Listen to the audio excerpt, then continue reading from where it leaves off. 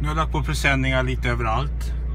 Eh, där inne. Jag la på 31 SU men det var svårt att komma fram till det. Så en traktor till vänster här också. Så jag har fått lite presenning som inte syns i bilden. Och sen ska jag backa nu. så. Ser lite grann här. Jag lyser nämligen bilen börjar bli mörkt ut. Klockan är 15.20. Så. Tack för taket på Fortson. Det hade åkt av. Och då höll jag på över en timme med det där bundet.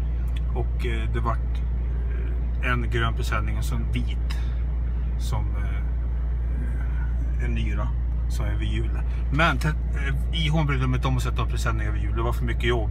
Och jag ville ha andra gjort istället och tyckte det var viktigare. Och det är bra som det är. Däremot lagar jag på den här eh, betesputsaren som heter högerbild. Lagar på presenning. Ska se om jag får ringa för inget bälte på mig för att sitta här och filma. Här ser man att, i hon syns i hjulet ganska mycket. Men det får vara sådär. Känns bra i alla fall. Nu är det mycket luft under presenningen på Fortson här. Så jag är rädd om det kommer snö och sånt att det kanske... Repen håller ju men presenningen är tunn så den kanske kommer att tryckas ner och gå sönder. Och så. Men det visar sig. Det, det.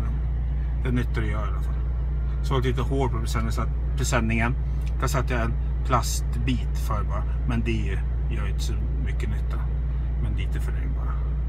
Och de här plasten som presenningen satt i, de lagar på gräsklippan en del och sparade de andra. kan man ha på skorstenen eller vad som helst. Så, så de har jag inte slängt. Och repen så vart jag de lagade in i byggnaden jag filmade nyss.